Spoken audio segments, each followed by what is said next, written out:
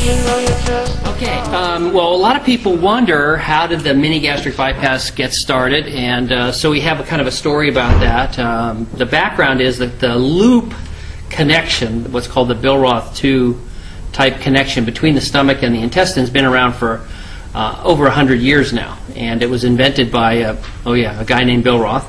And uh, basically, he was cutting away tumors in the stomach in the early, uh, well, before the 1900s and the 1890s.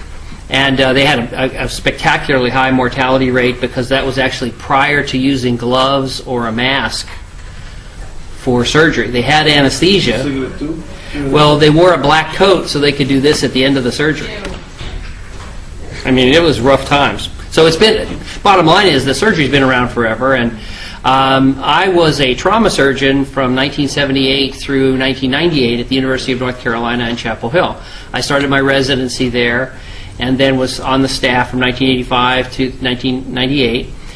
And uh, in 1997, I was on call for trauma one night when a local drug dealer in Durham, North Carolina, had a disagreement on pricing with one of his customers. And so he got shot in the belly seven times with a 357 Magnum.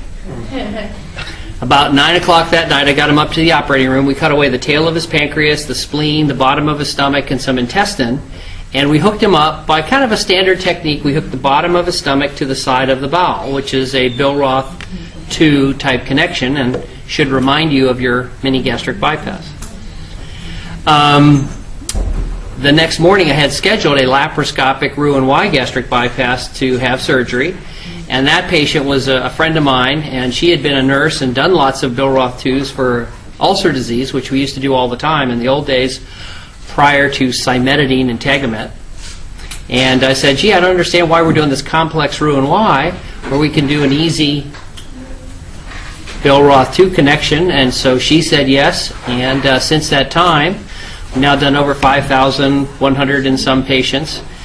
And maybe the most exciting development for me has been this past summer, where uh, we had to go to Paris for work at the international meeting of the Federation for Surgery of Obesity. And there, a couple of fun things happened. We had about 10 or 11 papers published on the mini gastric bypass, all of which confirming our results that it's a good surgery.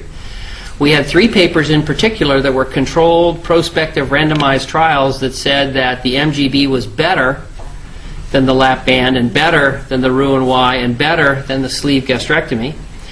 And then I did a presentation on a couple of our uh, findings and research, and at the end of it, I finished, and about 25 surgeons from all around the world, from Bulgaria and Germany and England and Spain and Italy, from India, from China, from Hong Kong, from Australia, from Mexico, all came up and said, gee, we love the MGB and we use it all the time, and so it's from that drug dealer and his gunshot wounds in 1997, the mini gastric bypass now is spread around the world.